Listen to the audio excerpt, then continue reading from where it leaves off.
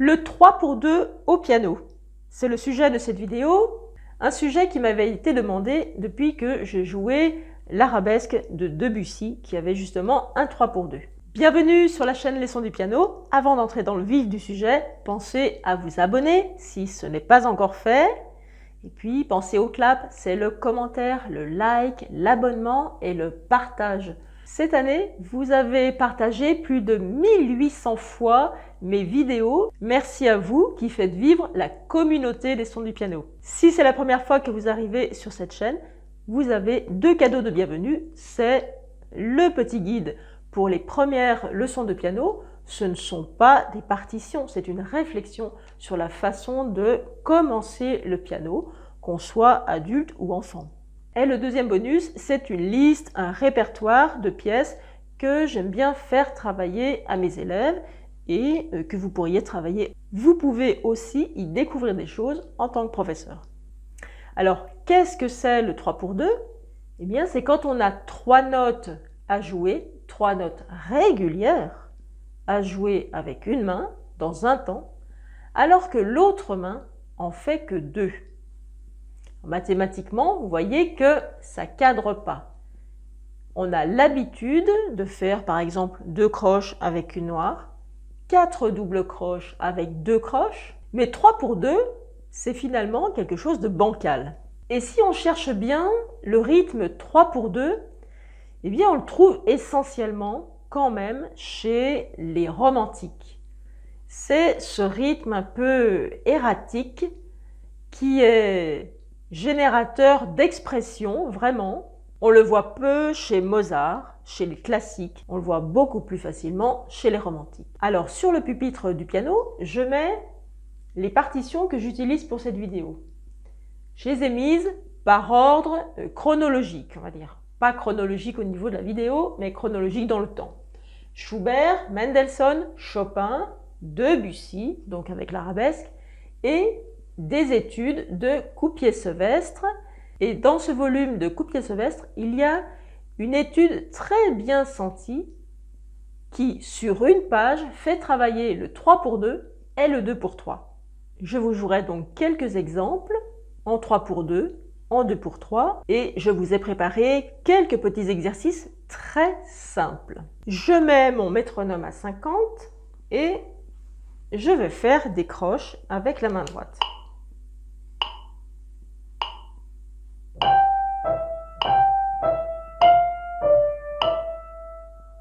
Je recommence une fois.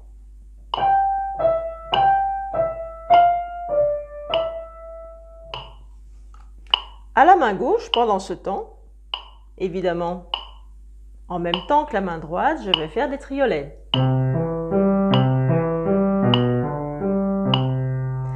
Oui, parce que mettre trois notes dans un temps, quand on est dans une mesure à 2-4, eh bien, ces trois notes, on les regroupe dans un triolet. On appelle ça un triolet. Et qu'est-ce que c'est que le triolet? On y met un 3 au-dessus ou au-dessous de ces croches parce que c'est une division exceptionnelle du temps dans une mesure binaire. Donc, on le spécifie. Le chiffrage de cette micro-partition est à 2, 4. Quand vous voyez 2, 4, imaginez-vous une noire à la place de ce 4. Ça veut dire qu'on peut mettre deux noirs dans chaque mesure. La noire, c'est l'unité de temps. L'unité de temps, c'est la figure de note qui remplit un temps. Là, mon métronome, il va faire les noirs. Et donc, je vais mettre un triolet par noir.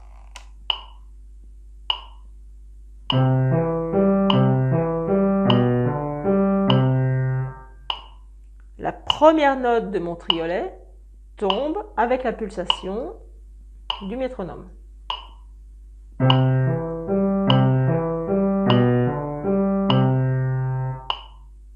Vous vous souvenez, la main droite, elle doit faire des croches.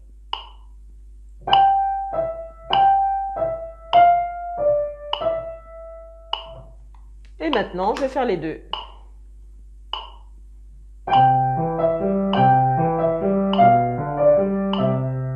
Si on veut faire travailler le 3 pour 2 à nos élèves, je pense que la chose la plus simple, c'est de faire du legato aux deux mains, c'est-à-dire ce que je viens de vous faire. On va pas faire faire des percussions parce que finalement ce n'est pas le jeu vraiment pianistique. On serait prof de batterie ou de balafon ou de djembé, ce serait pas la même chose. Ce qu'on voit le plus couramment, c'est le legato aux deux mains. je vous montrerai de façon plus précise les exercices de 3 pour 2 après ces petits extraits dans les nocturnes de Chopin.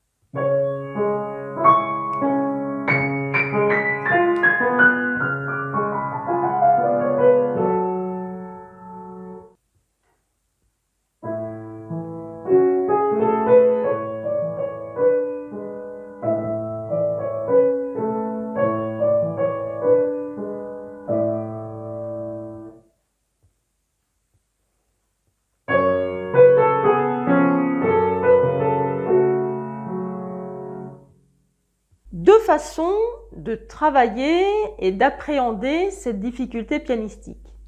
Il y a la façon intuitive, on va dire, la façon sentie, ressentie. C'est-à-dire que on va essayer d'avoir une main fluide, on écoute une main droite fluide qui va faire les croches et une main gauche fluide qui va faire les croches de triolet. La deuxième façon, on va compter en jouant. On va compter comment aussi Eh bien, on va faire 1, 2 et 3. 1, 2 et 3. 1, 2 et 3. Je fais simple au piano. 1, 2 et 3. 1, 2 et 3. 1, 2 et 3. 1, 2 et 3. 1, 2 et 3. 1, 2 et 3. 1, 2 et 3. 1, 2 et 3.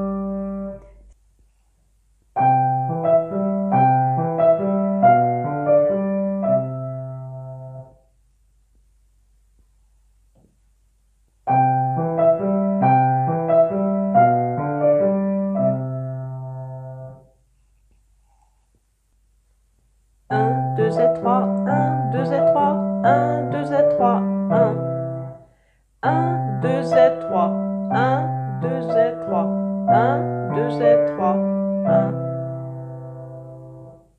Si je compte juste la main gauche, ça fait 1, 2, 3, 1, 2, 3, 1, 2, 3. Et si je mets mon comptage avec la main droite, ça ferait 1, 2, Z3, 1, 2, Z3, 1, 2, Z3. C'est sur le et qu'on met la deuxième croche de la main droite. Et maintenant, on imbrique tout 1, 2 et 3, 1, 2 et 3, 1, 2 et 3, 1. Voilà. Ça, c'est la chose la plus simple à faire. En legato, car c'est la situation la plus courante dans les pièces qu'on rencontre euh, au piano. Je pense qu'on ne peut pas dire que le 3 pour 2 soit plus utilisé que le 2 pour 3. Qu'est-ce qu'on appelle 3 pour 2, 2 pour 3 Je pense que ça dépend de chacun. 3 pour 2, c'est peut-être 3 pour la main droite et 2 pour la main gauche. C'est ce qu'on va faire dans l'exercice suivant. 3 notes à la main droite et 2 notes à la main gauche. Ces notes étant régulières, dans un flux régulier. Je vous le joue.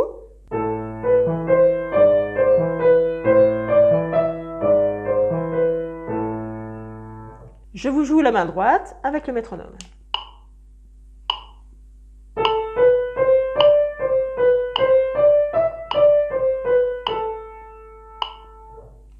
Maintenant, la main gauche avec deux notes par temps.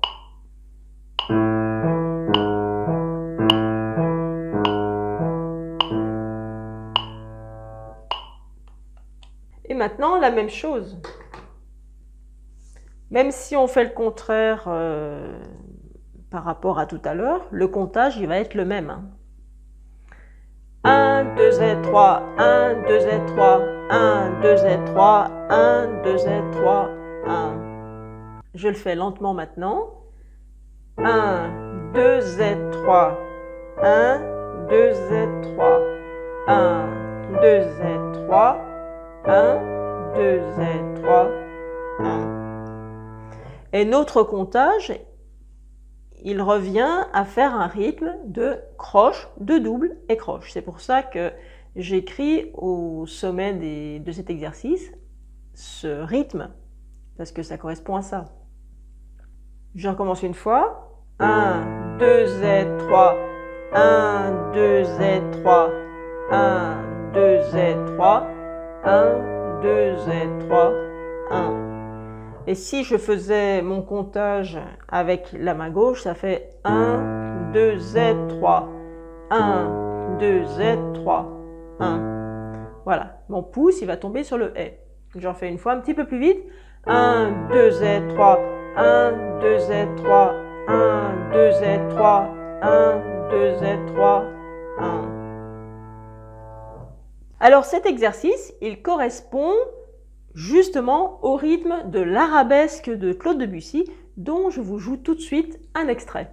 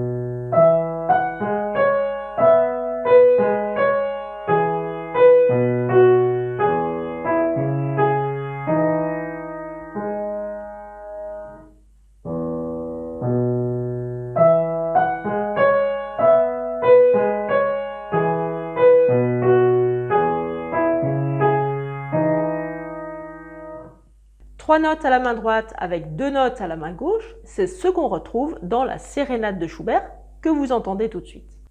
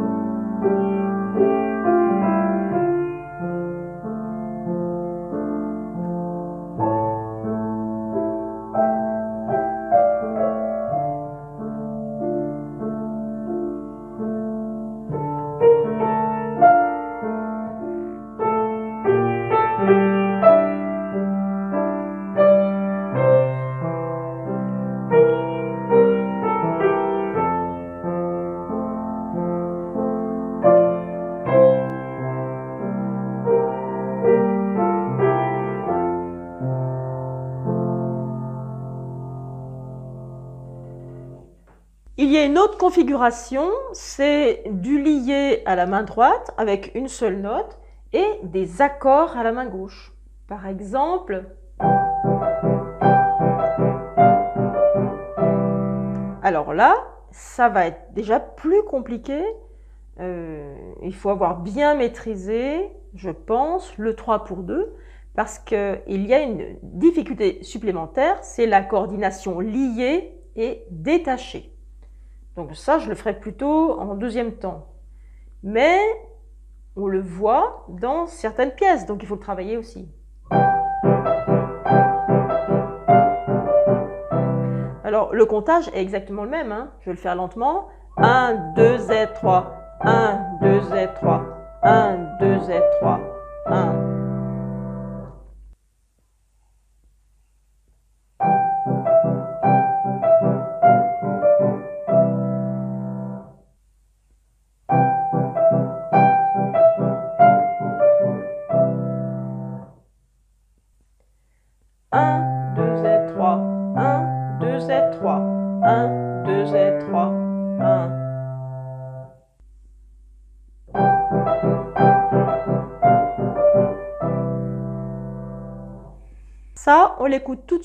dans une euh, romance sans parole de Mendelssohn.